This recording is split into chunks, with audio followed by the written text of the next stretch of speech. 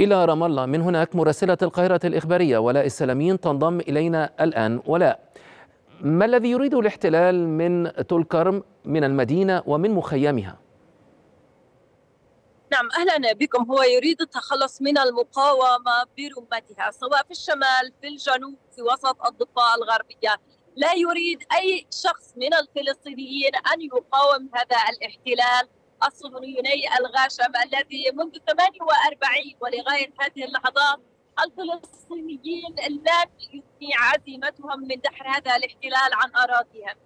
هم رأوا أن هناك اشتباكات مسلحة من جديد منذ عام 2000 ونحن نتحدث عن الانتفاضة الثانية لم يسمع اشتباكات مسلحة في الضفه الغربية سوى عمليات الطعن والدهس التي هي من المقاومة الصغيرة لدى الفلسطينيين. الآن بدأت من جديد الاشتباكات المسلحة الانفجارات التي تسمع بين الحين والآخر إعطاب للآليات. أيضا نتحدث عن أكثر من مقاوم في الضفة الغربية من الشمال وحتى الجنوب. يقاومون حتى وإن كانت بالحجارة الصغيرة. يعني نكون هناك اندلاع مواجهات ما بين قوات الاحتلال وأيضا الفلسطينيين. هناك الأسلحة التي باتت تستخدم وتعرف من قبل السابع من أكتوبر ولغاية السابع من أكتوبر تزايدت حده المواجهة ما بين الفلسطينيين وأيضا قوات الاحتلال التي تتمركز في أنحاء متفرقة من الضفه الغربية.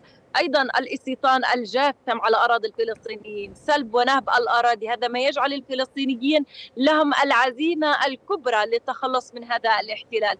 فعليا الاحتلال هو يريد التخلص من المقاومة الفلسطينية سواء في الشمال في الجنوب في الوسط حتى وإن كان هناك بالحجارة تقابل هذه المواجهات ما بين الشبان الفلسطينيين وقوات الاحتلال بالرصاص الحي بقنابل الغاز المسيل للدموع بإعتداءات للمستوطنين المتكررة بإدرام النيران بحرق الفلسطينيين ومنازلهم. يريدون فقط أن يضرب الفلسطيني ويقتل الفلسطيني في أرضه ولا يمكن أن يحرك ساكنا أو حتى أن يرد الصعصعين لهذا الاحتلال الذي يريد أن يبيد الشعب الفلسطيني م. سواء في الضفه الغربية أو حتى في قطاع غزة، نتحدث في مدينة طول كرم ومخيمها منذ منتصف الليلة الماضية ولغاية الآن تستمر العملية العسكرية في مخيم طول كرم ومدينة طول كرم.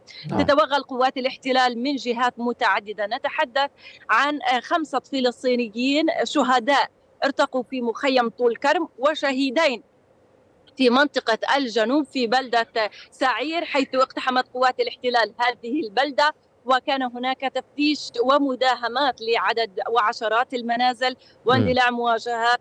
يعني في بلدة صعير لا يوجد سوى الحجارة لا توجد هناك مقاومة مسلحة منذ بداية هذه العمليات والاشتباكات المسلحة لن نسمع في الأخبار أو حتى على أرض الواقع أنه كان هناك اشتباك مسلح في بلدة سعير نعم. شبهت هذه العملية العسكرية في بلدة سعير بالحجارة ولكن رد قوات الاحتلال على هؤلاء الشبان بمزيد وابل من الرصاص الحي ليرتقي شهيدين في مدينة الخليل ونتحدث عن خمسة شهداء في مخيم طول كرم ومدينة طول كرم. طيب. العبث بالبنية التحتية وتخريبها انقطاع للتيار الكهربائي وتشويش في الاتصالات. نتحدث أيضا عن عدد من الانفجارات ودوي انفجارات متتالية تسمع بين الحين والآخر.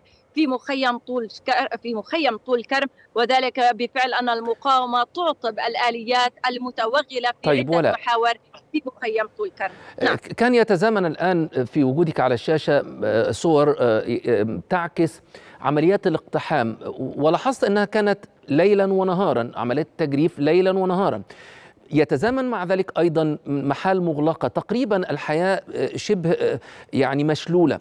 انعكاس هذه العمليات الآن على حياة المواطنين لأنه يبدو أنه لا حياة سواء في النهار أو في الليل مع استمرار هذه الاقتحامات المستمرة.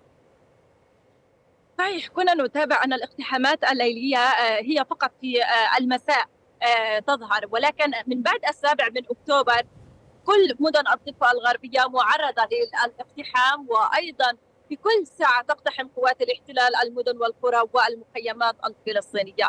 عندما نتحدث عن مدينة طول كرم قبل ساعتين من منتصف الليلة الماضية كان هناك اقتحام اعتقال لأحد ومداهمة لمحلات تجارية واعتقال عدد من الفلسطينيين لأصحاب هذه المحلات التجارية وأيضا التي تبيع الأسمدة الزراعية جدد هذا الاقتحام عند منتصف الليلة الماضية ولغاية الآن العملية مستمرة. نتحدث عن هدم وجرف للمحلات التجارية المركبات وهي على حافة الطرقات تتعمد قوات الاحتلال إما بإعطابها أو حتى ب يعني الجرافة العسكرية تقوم بجرفها وقلعها من مكانها. نتحدث عن محلات تجارية أيضا قامت قوات الاحتلال والجرافات العسكرية بنزع هذه البوابات الحديدية عن هذه المحال التجارية. سابقا كان تحدث محافظ طول كرم بأن الحياة في مخيم مخيم نور شمس أصبحت شبه معدومة لأن المحلات التجارية أغلقت أبوابها وخاصة أن تجريف للبنية التحتية. نتحدث أيضا ناهيك عن إغلاق لعدد من المحلات التجارية صعوبة وصول الشاحنات الاقتصادية والتجارية إلى تلك المنطقة وبصعوبة الطرق الواصلة ما بين الضفة وما بين عفوا ما بين الشمال والجنوب والوسط. كل هذه الأمور تنعكس على الحياة الاجتماعية الاقتصادية والسياسية. لا سيما وأن كان هناك محافظة طول كرم يعني في هذه الأثناء لربما كانت سوف يكون هناك امتحانات للوظائف العمومية.